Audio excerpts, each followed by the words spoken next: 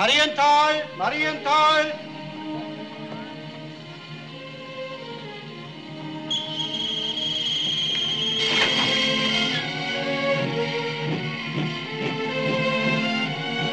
Entschuldigen, ist das Marienthal? Ja, habe ich's nicht ausgerufen? Ja, aber, aber ich sehe weit und breit kein Marienthal. Da hinten liegt's ungefähr vier Kilometer. Verzeihen, Hochwürden, sind Sie der Neue? Ja. Schauen Sie, kann die Marienthal dann nicht verstehen. Da ärgern Sie sich, dass Sie keinen Fahrer haben und dann glauben Sie, er flattert so ins Dorf so. Mir nix, dir nix. Wie ein Engel.